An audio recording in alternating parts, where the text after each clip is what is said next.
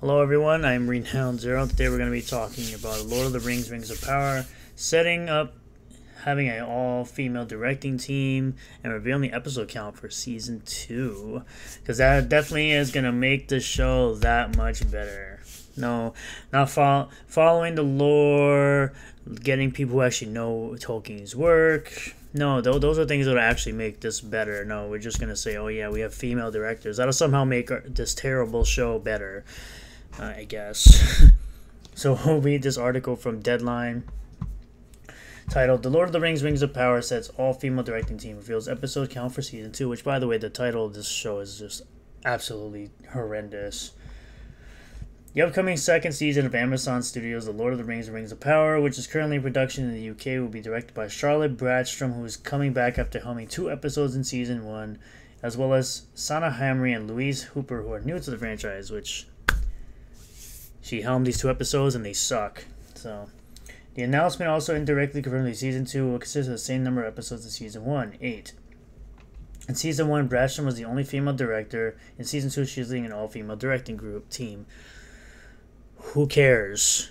Do they have the experience to film to direct Lord of the Rings? Probably not. They've probably only got hired on because they're women, not because they have any experience in Tolkien's work or in actual directing. But that's current day Hollywood nowadays. Bradstrom directed episodes 106 Udûn, which features season one's big battle scene, the Mount Doom's eruption, and the 107 and 107 The Eye, which chronicled its aftermath. Will be directing four episodes and will also serve as co-executive producer this season.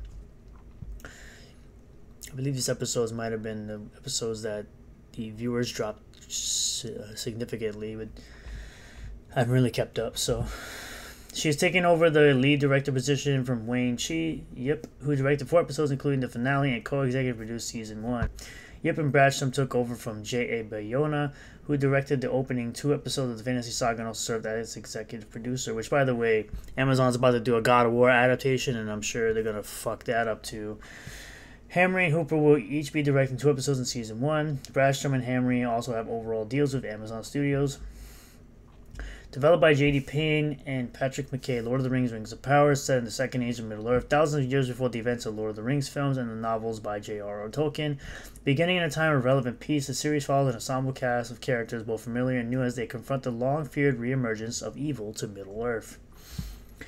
Per Amazon, the first season of Rings of Power has been viewed by more than 100 million worldwide, with more than 24 billion minutes streamed. Meanwhile, they were beat by House of the Dragon, so really the numbers are probably bullshit. The series drew more than 25 million global viewers on its first day, marking the biggest premiere in the history of Prime Video, and also debuted as number one show on Nielsen's overall streaming charts in its opening weekend, which, like I said, it actually dropped very badly on the Nielsen charts and was getting beat out by House of the Dragon because it was so bad. Season 2 of the series is produced by showrunners and executive producers Payne and McKay, Lindsey Weber, Callum Drinking, Justin Doble, Jason Cahill, and Jennifer, I guess Jennifer Hutchinson also produ- executive produced, along with co-executive producer Bradstrom, producers Kate Hazell and Helen Shang. It's like it's just like Star Trek when they have like a thousand executive producers or producers to, to thank during the show. It's like holy crap. And co-producers Andrew Lee, Matthew Pe- Penry Davey, and Claire Buxton.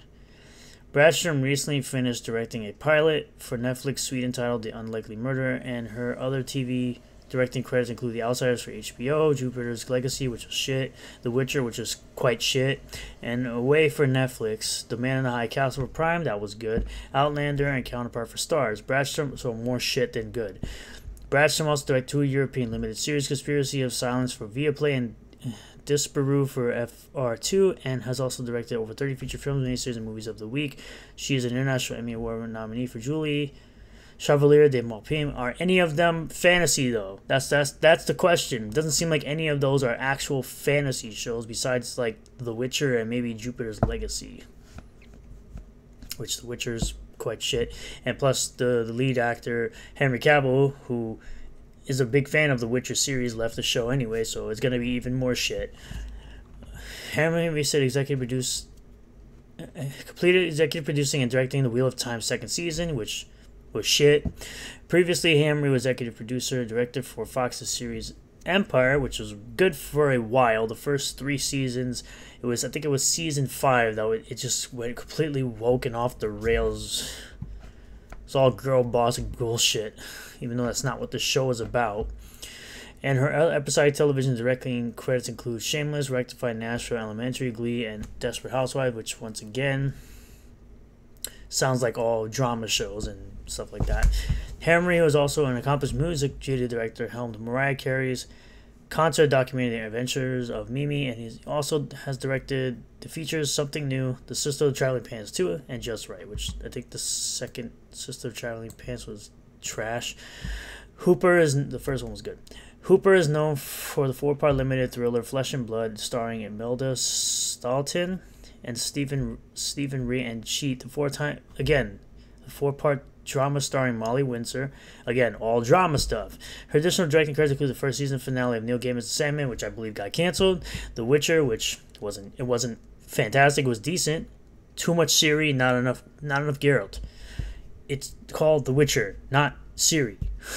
Inside Number 9 and Treason. Hooper began her career directing BBC Arts documentaries, working with David Lynch, Helmut Newton, Arthur Miller, David Attenborough, and Bjork, and also has received a BAFTA nomination for directing Our Gay Wedding musical. So once again, seems like the people there working on this show seem to have experience in directing, but not directing fantasy, besides like The Witcher and Jupiter's Legacy. So doesn't seem to be good. I don't think this is gonna be good it seems like they're just continuing to go down to double down on the on the trash and just hiring people who are not experienced at that much in making fantasy and even knowing anything about Lord of the Rings. I heard nothing about their experience about Lord of the Rings. They mentioned nothing here about them talking about Lord of the Rings and what they know about it. It just sounds like a bunch of gobbledygook and drivel. And there's just female directors, oh my god, female directors, oh my god. It's like, who cares? Like get some people that know what they're doing at least. It seems like the people they already had, they know what they're doing, and we continue to hire more people that don't seem to know what they're doing. That'll be all for me for today, though.